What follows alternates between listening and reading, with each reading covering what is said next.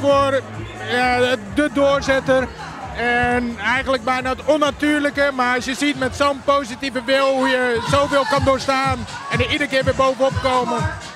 Ja, een voorbeeld. Hoewel ik niet zo van idolen hou. ehm, ja, het zijn heel veel dingen waar ik, eh, waar ik mooie dingen uithaal. Dus eh, zeker. Ehm, nou, Piep heeft er natuurlijk voor gezorgd dat de sport op de Spelen is gekomen. Maar verder inspireert ze denk ik iedereen om ehm, aan de sport te beginnen. En ja, laat ze de sport gewoon groeien. Ja, heel veel. Het is eh, een beetje mijn tweede moeder geworden inmiddels. Ja, super fijn dat het weer eh, wat beter met haar gaat. En, ja, Team, what's up? What's up, John? What's up? Wat een feest.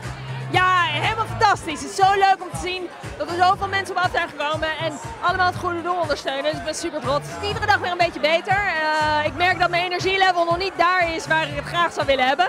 Maar ja, geduld is een schone zaak, zeggen ze. Nou vind ik dat best wel lastig. Eh bezig bijtje als ik ben. Maar goed, eh, ik merk wel dat ik iedere dag weer een stapje vooruit ga.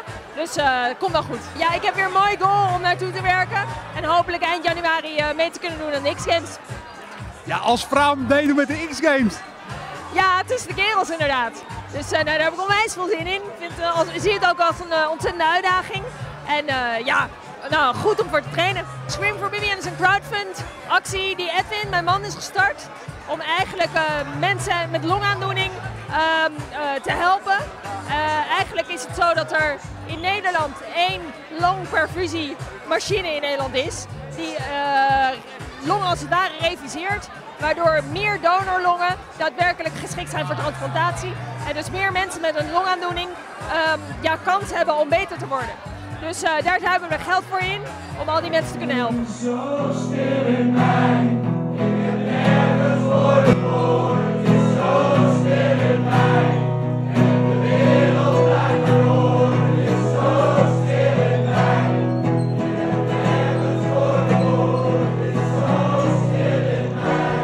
Scream for.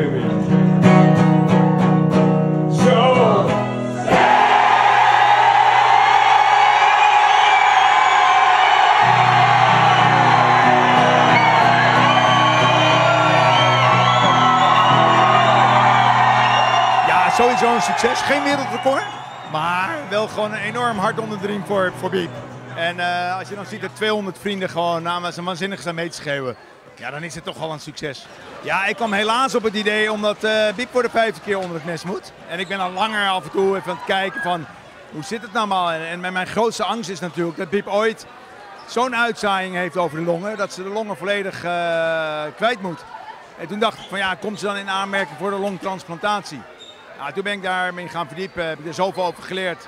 En zag ik dat er eigenlijk veel te weinig geld gestoken wordt in eh, het proces en in de ontwikkeling en onderzoeken. Ik dacht, nou, als ik daar een steentje kan bijdragen, als maar een klein beetje, dan, eh, ja, dan ben ik tevreden. Nee, want eigenlijk, eh, zelfs Bibian komt er niet voor in aanmerking. Eh, dus het heet wel Scream voor Bibian. Het natuurlijk opgezet is vanuit de gedachte om, om, om Bibian ook een hart onder te steken. Maar eigenlijk schreeuwen we voor mensen die geen kanker hebben. Want als je kanker hebt, kom je niet in aanmerking, vooralsnog in 2015, voor een orgaantransplantatie. Dus, eh, maar wie weet kunnen we dat ook veranderen met eh, veel onderzoek eh, in de toekomst. We hebben op dit moment ruim 54.000 euro opgehaald. Ja, een prachtig bedrag in vier weken tijd. Dus alleen de teller loopt door. Dus mocht je nog willen doneren, doen. www.screamforbibian.nl